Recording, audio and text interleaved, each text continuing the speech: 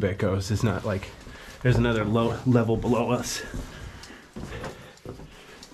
Okay, so now I get to do an actual belly crawl, but not very far. At least it's relatively flat, so I can put my camera down on a tripod, free up one hand.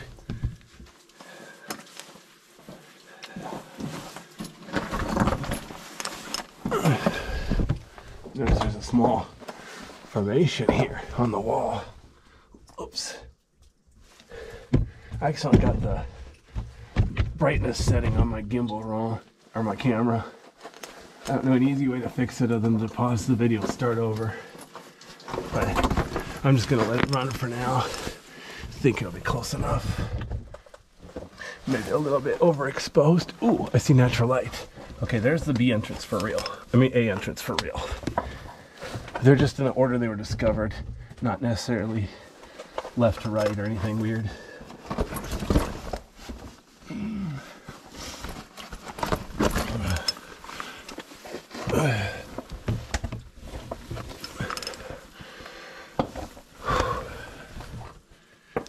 Sometimes a cave has more than one entrance and they don't realize it. So they think it's more than one cave, give it each segment a different name. That's why I like Oregon caves. Strictly speaking, the main cave is one big cave. But that's because they, partially because they, when they discovered all the different entrances, they didn't realize there's one big cave complex. But the other thing too, at Oregon Cave, the natural connection is pretty small. But they like dug out an easier artificial tunnel to make it simpler to get through without having to double back. Most caves, they don't do any kind of maintenance like that. They're just like, you figure it out on your own. Don't change anything.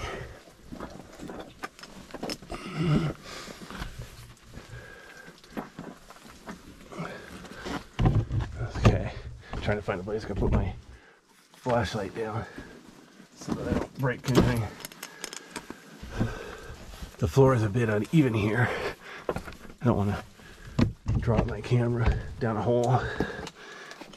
I'm not saying that'd be funny, but it would be. All right, here we go.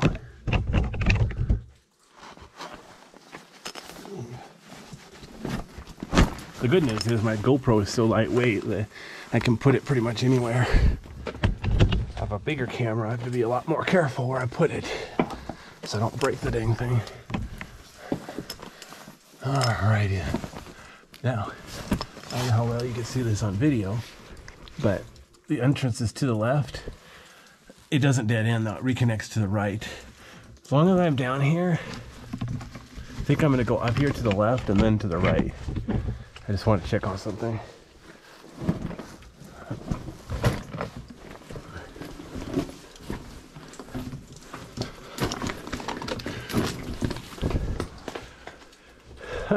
yeah, I don't know if the, you can tell by the video, but the ceiling's about five feet here, four or five feet. So I can't quite stand up, but I do have some wiggle room. Okay, good, good, good. So there's the other entrance. There's the other way through. So I'm gonna go ahead and back around this way just to show, okay, that's the way I came from. Oops. Trying to, there we go.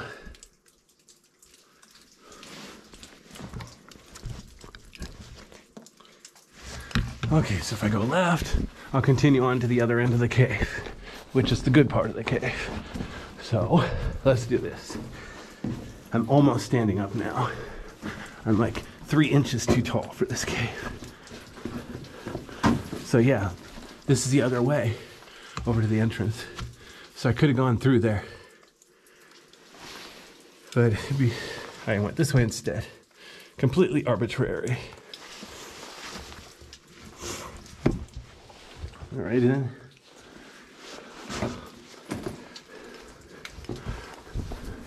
Let me go ahead just a bit.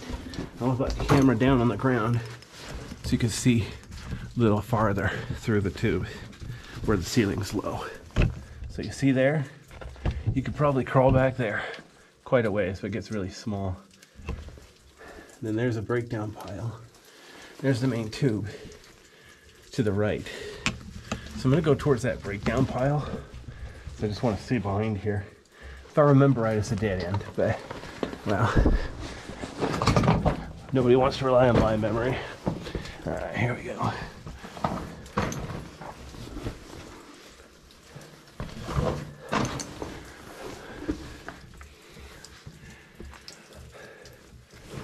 Yeah, I'm gonna go straight over to this breakdown pile so I can look over the top, see if there's anything cool there.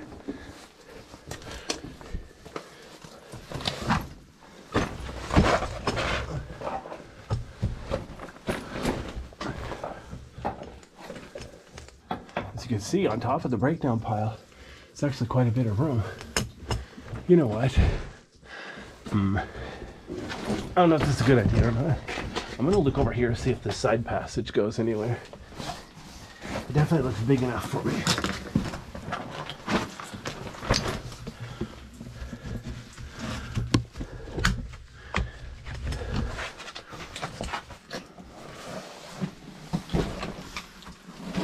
Oops.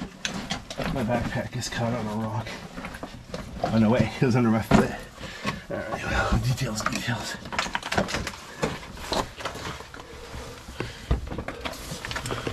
Yeah.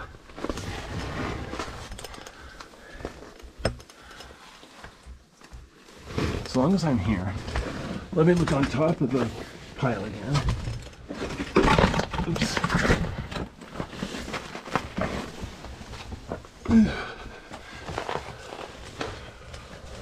Huh, interesting. Okay. Lots of room back in there in the cracks. Room up there. Well, not big enough room for me though. But down here to the right, looks like there might be some room to go back. As long as I'm here, I can see if I can go back behind here. Make sure I bring my backpack with me. It's got my car keys. A long walk home. All right, here we go.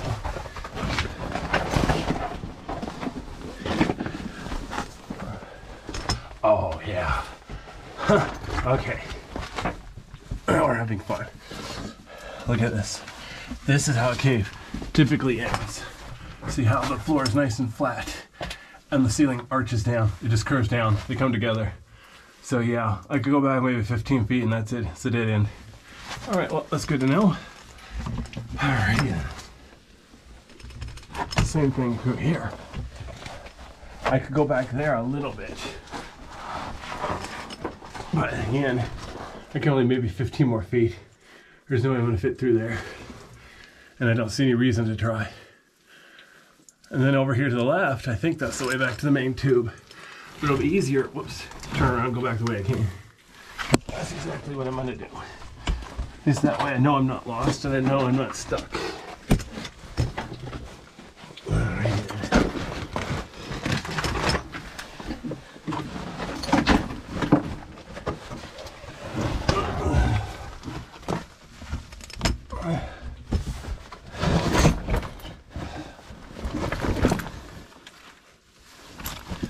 All right, one of my uh, knee straps, my, the straps on my knee pad is coming undone.